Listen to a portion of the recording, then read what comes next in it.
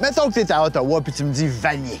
Ben, la première affaire à laquelle je pense, c'est Vanier, parce que tu viens de me le dire, mais aussi Louise Pizza.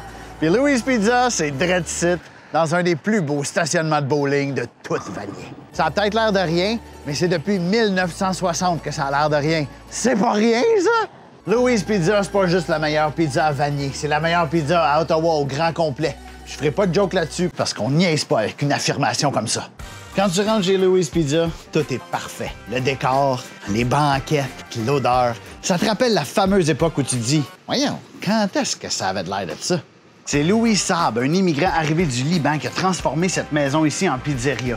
La famille Saab est encore propriétaire aujourd'hui, puis les cinq générations de la famille ont travaillé ici. Comme dans la chanson de mes aïeux, mon arrière-arrière-grand-père faisait de la maudite bonne pizza. Petit fait intéressant, ça fait 60 ans que Louise offre pas la livraison.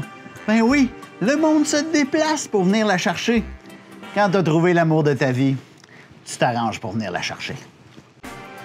Tout le monde qui est quelqu'un a déjà mangé une pizza chez Louise Pizza. Des ambassadeurs, des ministres, Sophie Grégoire Trudeau, mais surtout ce dude-là. Fait que si t'as le goût de manger la meilleure pizza au monde, mets tes shorts les plus courtes, viens te coller les cuisses sur ces banquettes oranges ici. Mais si t'as le goût de découvrir la communauté francophone et savoureuse de Vanier en Ontario, ben trempe ta manette dans sauce à l'ail puis mets-le sur TVA pour le prochain épisode de HQ.